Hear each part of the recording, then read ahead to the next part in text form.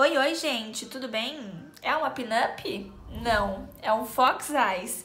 Eu vou dar algumas dicas para você criar aqui o seu Fox Eyes de um jeito diferente, rápido, sem procedimento estético e baratinho com produtos que você tem aí na sua casa. Isso aqui, gente, é tudo um jogo de truque, tá? Muitos truques, muitas dicas englobam todo o procedimento aqui do Fox Eyes para ficar nessa maquiagem aí que dá aquele efeito de raposinha, né?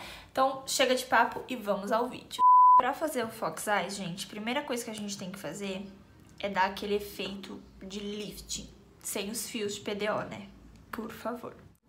No procedimento, eles fazem isso daqui, ó. Nada mais é que você fazer isso daqui, ó, o olho de raposa. Então aqui ele já deu uma, uma mudada, tá vendo a diferença? Outra coisa muito importante é, que muitas pessoas vêm fazendo, é cancelar a sobrancelha para que ela não fique com essa com esse designer, tá vendo, ó? De arqueada. Então, quanto mais reta e para cima ela for, mais o efeito de lifting vai ter.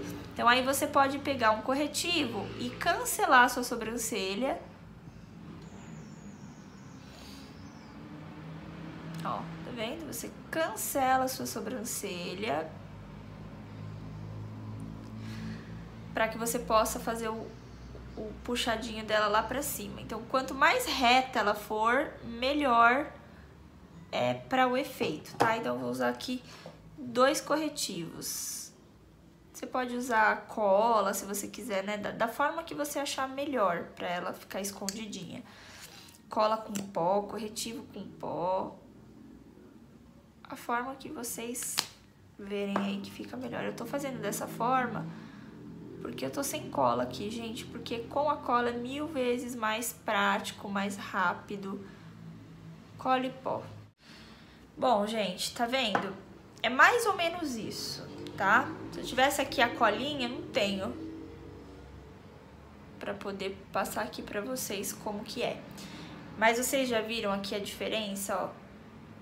Então, se você fizer isso daqui, você colocar a sobrancelha pra cima, já ajuda. Vou pegar em pó uma sombra para a sobrancelha e eu vou fazer o mais reto que eu puder, pra, não pra cima, tá, gente? Ela vai vir pra cá, mas mais retinha, não arqueada do jeito que tava.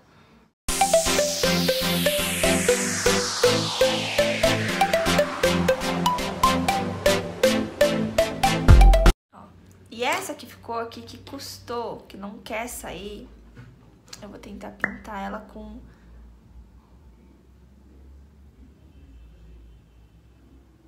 Um lápis branco. Pra dar aquele efeito de lifting, sabe? Ó. Então, é mais ou menos, mais, ou menos isso. Então, ficou assim. Aí, aí sim a gente vem com é, o desenho, né? Então a gente sempre faz um fundinho com uma sombra marronzinha, bem clarinha. Eu vou usar essa paletinha aqui, ó, Becalme, da Ruby Rose, que é uma das minhas preferidas. E eu vou usar esse marronzinho aqui. E eu vou pintar tudo isso daqui, assim, ó com ele, já que ele é tomzinho, marronzinho mais, né, natural.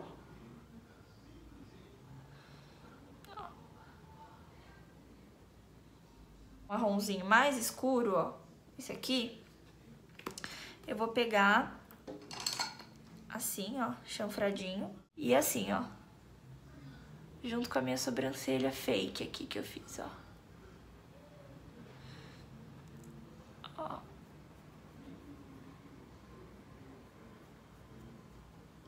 Tá vendo? Fiz isso, eu vou puxar como se fosse um delineado, ó. E aí eu vou esfumar bastante.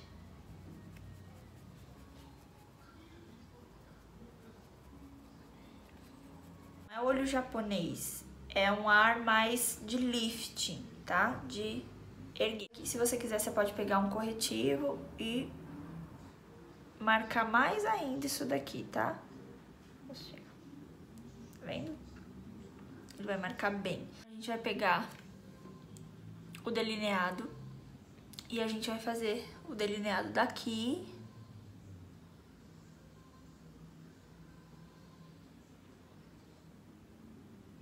ó, retinho.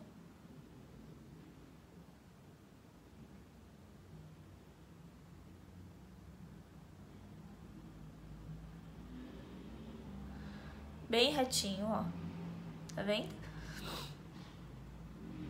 Só até a pontinha. E a gente vai fazer o início. Início, a gente começa daqui. Ó. Tá vendo? bem rente, gente, bem rente. E você não vai fazer um bico até aqui, você só vai preencher a sua linha lacrimal.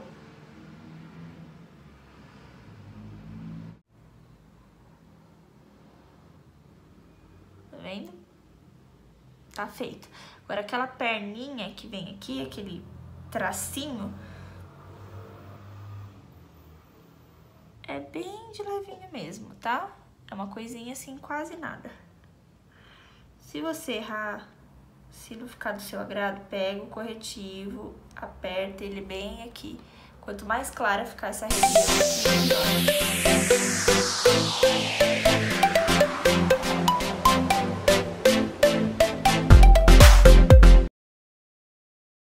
Vocês conseguem ver, gente, que eu pintei, ó, aqui, ó, e puxei um pouquinho. Tá vendo? Olha, gente. Tá vendo a diferença que dá se você puxar? Vou colocar aqui o meu cabelo bem pra trás com a presilha. Teria que ser com uma chucinha, né? Deixa eu ver se eu acho aqui. Bem pra trás. Essa parte aqui, ó. Bem essa parte aqui. Essa aqui não precisa nem pôr, tá? Essa aqui de baixo. Mas essa parte aqui, ó. Tá vendo que faz isso aqui, ó. Ó. Essa parte é bom você pôr, porque é ela que vai dar o efeito. E pra você poder pôr, eu sugiro que você pegue, não a mecha inteira, pega só uma mechinha e você torce ela. Você pode torcer ou pra dentro ou pra fora, ó. Tá? Eu acho que se você torcer assim, ó, ela puxa mais. E aí eu vou torcendo ela e prendo. Pode ser que você tiver aí, tá, gente? Só tô dando um exemplo aqui.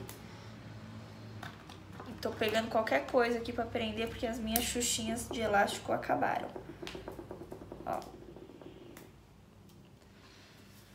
Esse aqui, ó, é o efeito Fox Eyes, tá? Então, é um, um efeito lifting. É uma sobrancelha quase reta, tá? Não é uma sobrancelha arqueada. Então, isso daqui no Fox Eyes não existe, de você arquear sua sobrancelha. Ela tem que estar tá extremamente pra cima. Tem muita gente que até raspa a sobrancelha daqui pra cá pra poder desenhar ela e fazer esse efeito Fox Eyes, tá? Eu pintei aqui com corretivo, porque eu não vou fazer isso, tá? Então, é, além de usar o cabelo bem puxado para trás, ó. E aí você faz o gatinho esfumado, tá? Você esfuma ele e aí aqui você faz a, a pontinha. No caso, para dar mais ainda impressão de Fox Eyes, o que, que você tem que fazer? Com uma sombra bem escura, marcadona, aqui, ó. Como se fosse uma continuação, ó porque o olho da raposa é um olho bem marcado, bem escuro, tá? Eu gosto de usar o lápis branco, porque daí o lápis branco dá aquele efeito de abertura no olhar. E aí eu quero que aqui no início ele fique com esse efeito.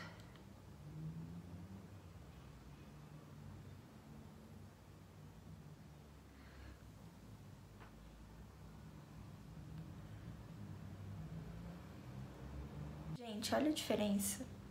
Isso que eu nem coloquei os cílios ainda, tá? Ó, Eu uso esses cílios cortadinho, tá? Porque daí ele dá mais ainda efeito de raposinha. E aí, gente, eu aplico bem no cantinho, tá? Bem aqui no cantinho.